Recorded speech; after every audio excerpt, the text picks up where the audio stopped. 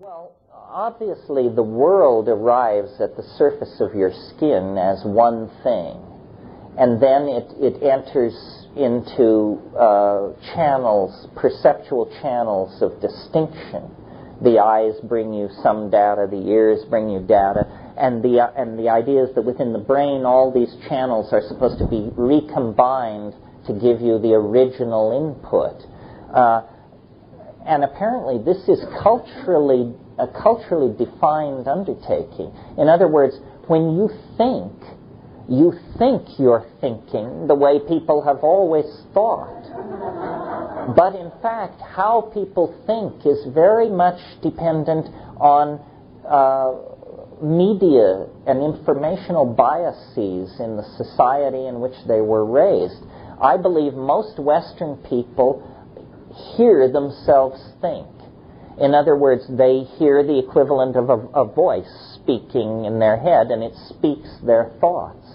When you smoke halfway decent pot or take psychedelics or something like that, you become aware that the processing of incoming audio data shifts slightly toward the visual.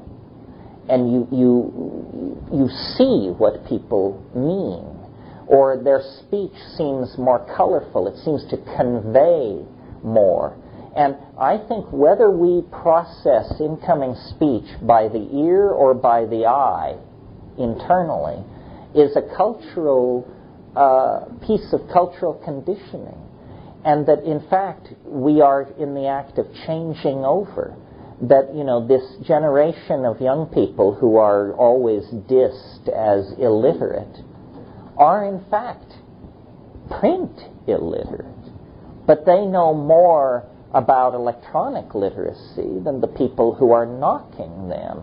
And their bias is primarily toward the eye rather than the ear. That's why what we really have are two cultures talking past each other.